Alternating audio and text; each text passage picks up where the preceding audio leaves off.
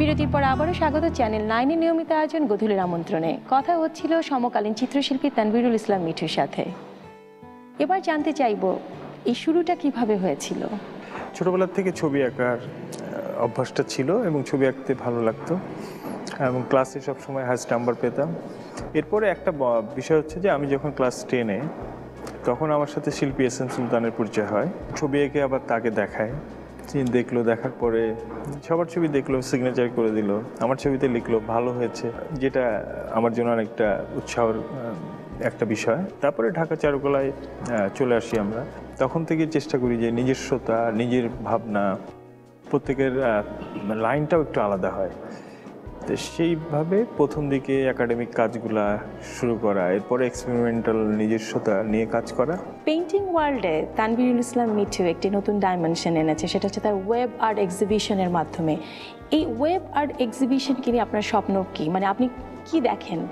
আমি যেটা দেখি যে বাংলাদেশের শিল্পকলাকে আমাদেরকে ইন্টারন্যাশনাল স্ট্যান্ডার্ডে নিয়ে যেতে হবে। তার একটাই ওয়ে হচ্ছে ইন্ডিভিজুয়াল ব্র্যান্ডিং সেলফ ব্র্যান্ডিং একজন আর্টিস্ট তার সেলফ নিজেকে এমনভাবে তৈরি করবে যে তাকে আলাদা করা যাবে যে যেরকম আর্টিস্ট মিঠু ব্র্যান্ড হতে পারে একটা। যে মিঠুর কাজ ডিফারেন্ট তার প্রোডাক্ট ডিফারেন্ট তার চিন্তাভাবনা আলাদা, এরকম। যে প্রত্যেকটা আর্টিস্টকেই তার ওন থিঙ্কিং নিয়ে সামনের দিকে এগিয়ে যেতে হবে এবং তাকে অনেক ডায়লগ দিতে হবে। ওয়ার্ল্ডে যেটা হচ্ছে যে আমরা বলতে পারি কম। যে কারণে আমাদের আর্টিস্টদেরকে দেখা যাচ্ছে যে বিভিন্ন জায়গায় উপস্থাপন ক্ষেত্রে ডাকা হয় কম। কিন্তু এখন এটা চেঞ্জ হচ্ছে। এখন অনেক ইয়াং আর্টিস্টরা কিন্তু বিভিন্ন জায়গায় সেমিনার সিম্পোজিয়াম তারপরে বিভিন্ন এক্সচেঞ্জ প্রোগ্রামে যাচ্ছে তারা ব্রিফ করতেছে তার শিল্পকলাকে নিয়ে। তো এই জায়গাটা, আমি চাই ইয়াংরা আরও এগিয়ে আসুক। ওয়েব শো তাকে নিয়ে যাবে এক নতুন ঠিকানায়? আপনি তো নিজে যেহেতু একজন চারুকলার ছাত্র ছিলেন এবং এই যে চারুকলা এখন যারা পড়াশোনা করছে এই নতুন প্রজন্মের জন্য আপনার কি কিছু বলার আছে?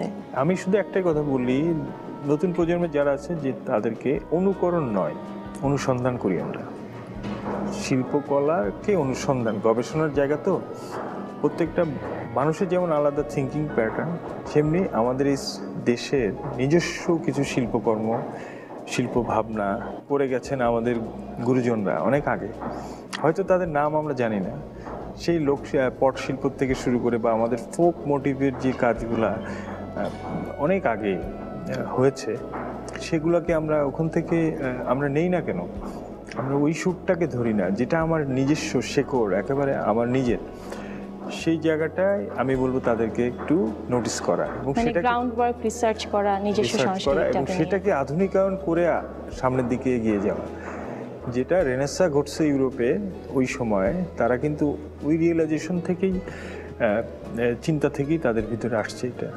আমার মনে হয় তাই ইয়াংরা এটাই করবে যে তাদের নিজস্ব ভাবনাটার সাথে দেশীয় নিজস্বতা নিয়ে সামনের দিকে এগিয়ে যাবে।